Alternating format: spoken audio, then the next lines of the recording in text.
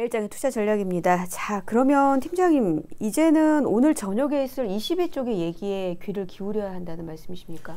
그쵸. 일단은 뭐 트럼프 발언은 발언에 의해서 미국 증 이것만 놓고 보면 미증시는 뭐 한 3% 4% 지금 현재 시간으로 4% 정도 빠지고 있으니까 그걸 반영한다고 봐야 될 것 같고요. 일단 이 시비가 중요해 중요해졌다고 봐야 될 것 같아요. 음. 근데 이 시비가 여기서 적극적으로 대응을 못할 여유가 없어요. 왜 그러냐면 유럽 쪽에 가장 큰 문제 있는 데가 이탈리아죠.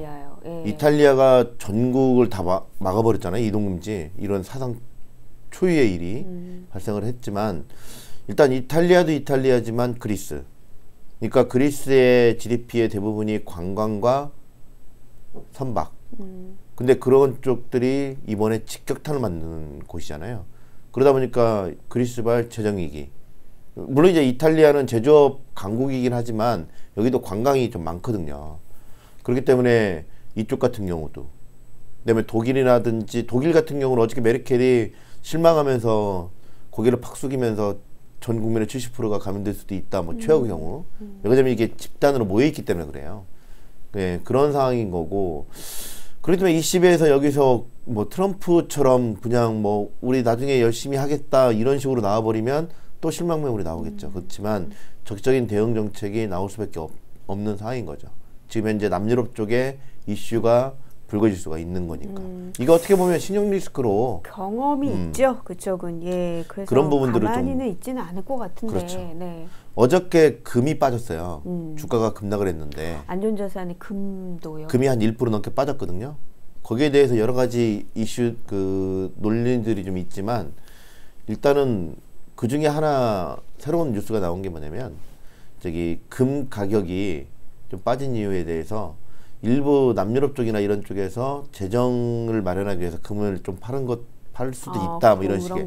그게 예전에 남유럽 사태 때 그랬어요. 음. 그러니까 금이 계속 올라가다가 갑자기 훅 빠져요. 네. 근데 그게 뭐였냐면 그 남유럽 쪽 중앙은행들에서 금을 좀 매각을 했던 그런 사례들이 좀 있었거든요. 음. 재원을 마련하기 위해서. 예. 근데 그런 부분들이 부각된 거. 그러니까 지금은 뭐 안전자산이고 뭐고 다 필요 없고요. 음. 지금 시장은 모든 눈과 귀는 21호. 음.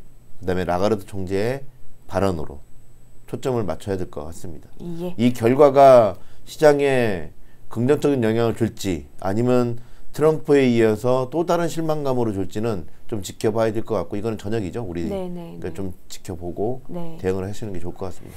만약에 오늘 미국 증시가 4% 이상 안 빠지면 내일은 올라가겠죠. 음. 어, 그런 부분도 좀 체크를 하시면서 긍정적으로 보시는 게 좋을 것 같습니다. 음. 근데 저 그동안 이제 저희 하우스가 어, 각 우리나라 증권사에서 가장 나쁘게 올해를 봤잖아요. 음. 네. 근데 이제 조금은 좀 고민을 좀 하고 있습니다.